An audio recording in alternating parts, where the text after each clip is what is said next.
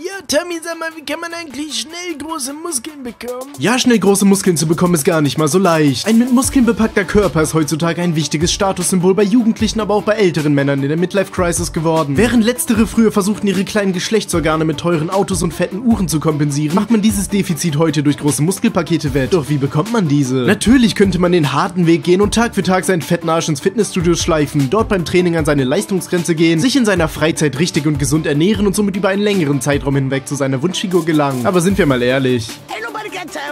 Doch wie können wir unsere Muskeln auch ohne Training schneller aufpumpen? Durch verbotene Substanzen wie anabole Steroide? Nein, denn im Gegenteil zum allgemeinen Glauben reicht es nicht einfach nur aus, sich Anabolika zu verabreichen, um ein starkes Anwachsen der Muskeln zu erreichen. Ein hartes, diszipliniertes Training steht auch hier im Vordergrund. Der einzige Vorteil von Anabolika ist, dass man viel schneller größere Erfolge sieht. Außerdem hat man durch den Einsatz von Steroiden viel mehr Zeit zu trainieren, da dein Schwanz nach einiger Zeit nichts mehr wert ist und deine Freundin dich über kurz oder lang für einen halb so breiten Typen verlassen wird, der sie zwar nicht auf Händen tragen, aber wenigstens ordentlich im Bett befriedigen kann. Klingt irgendwie nicht so geil, oder? Richtig. Aber wie bekommen wir denn jetzt große Muskeln ohne Anabolika zu nehmen oder hart trainieren zu müssen? Das Zauberwort lautet Synthol. Synthol ist ein Gemisch verschiedener Öle, welches direkt in den Muskel oder in die Haut über einem Muskel gespritzt wird. Dieses Öl wird an den Muskel eingelagert und führt so zu einer optischen Verdickung. Geil, oder? Endlich kannst du auch mal wie Popeye aussehen und kriegst jede Olivia dieser Welt ab, ohne dein halbes Leben im Fitnessstudio verschwenden zu müssen. Und das Beste, ihr könnt euren Penis noch benutzen. Und den werdet ihr auch brauchen, denn ich kenne kein Mädel, was beim Anblick dieser Männer hier nicht direkt untenrum auslaufen würde. Natürlich gibt es auch bei der Nutzung von Synthol ein paar kleine Nebenwirkungen, wie zum Beispiel Absterben des Gewebes, Blutvergiftungen, Embolien, Herzinfarkte, Gehirnschädigung oder der Fakt, dass ihr plötzlich so aussieht, als hättet ihr haufenweise Basketbälle durch eure Rosette gequetscht, um sie über die nächste Grenze zu schmuggeln. Aber sind wir mal ehrlich, was macht man nicht alles für große Muskeln ohne möglichst großen Aufwand, oder? YOLO.